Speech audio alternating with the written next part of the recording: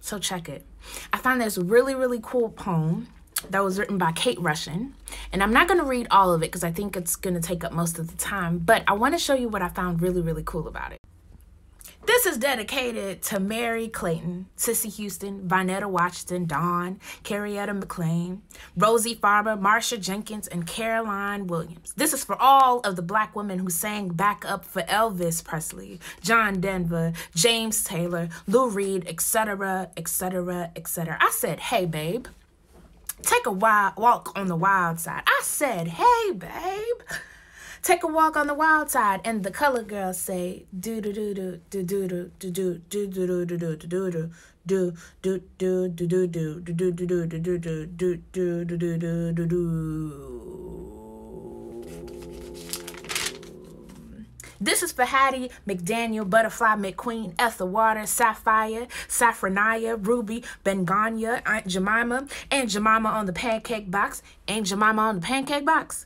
Aunt Jemima on the pancake box?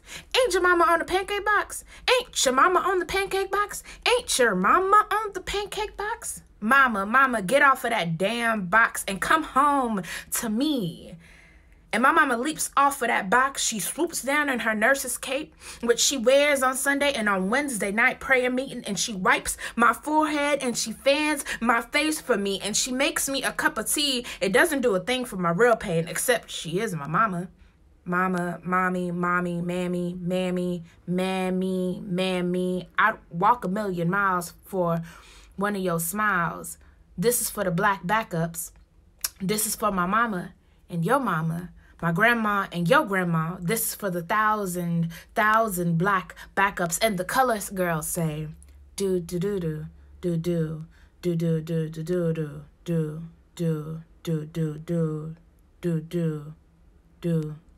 do, do. Found this poem really cool because it was able to communicate some sort of melody without me hearing um, the poet speak. And I just found it was really cool. So I thought, why not? Why not? Let us all just play with some sound. But first, of course, we breathe, we center ourselves, we are here. So we're ready? Oh, okay. Let, let's breathe.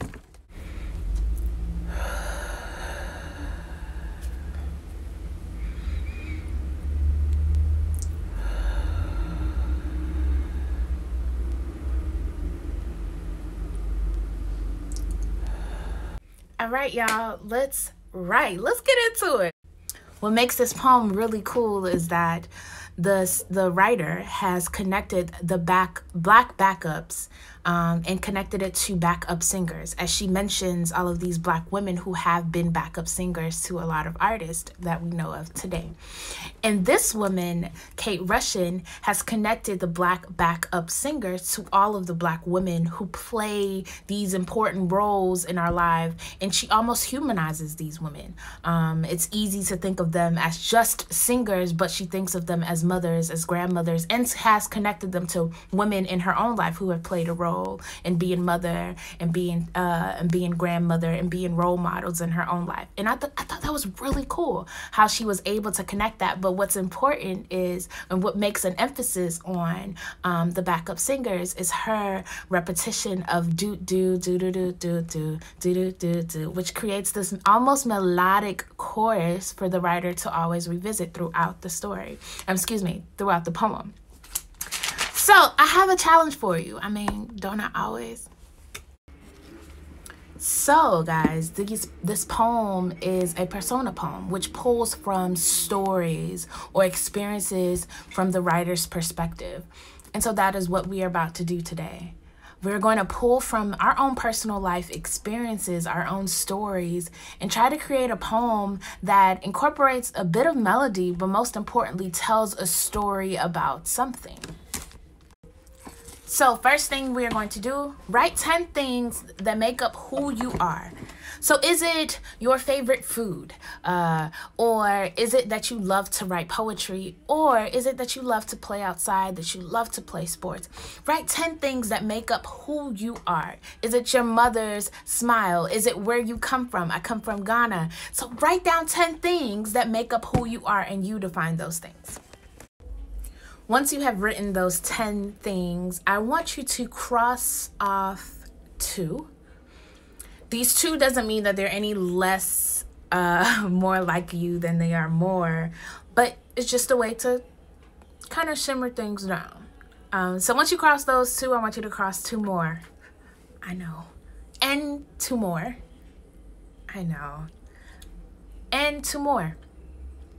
Okay, so you do not have to cross off anymore. You should have at least two left on your paper. And you could always revisit this activity and pick a different two. But for now, let's work with the two that you have just uh, left on your paper. On my paper, I have stories and I have God. And these two things cut are very vague. There's so many experiences in which stories were involved in my own life or God was involved in my own life. But these two make up who I am. Those are the only two that I had left. So let's work with it. So maybe on your paper you have sports or art or tea or whatever it is that you think or you believe make up who you are. So the first thing I want you to do is think about an experience or a story um, or something that happened in your past that involved the two of those things.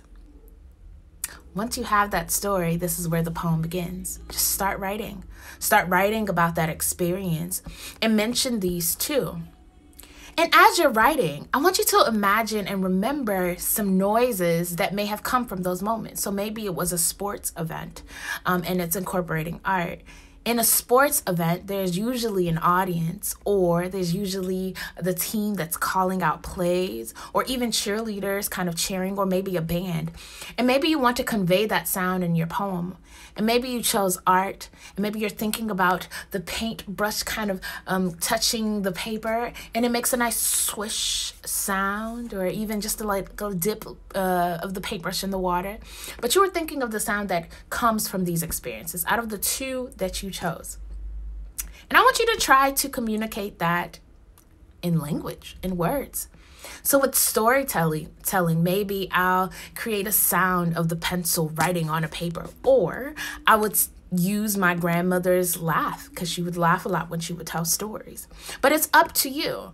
Make sure that you try to incorporate sound within your poem and you have a piece.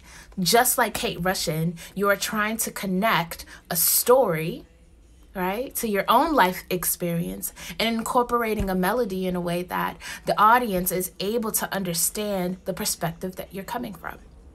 So that is your challenge.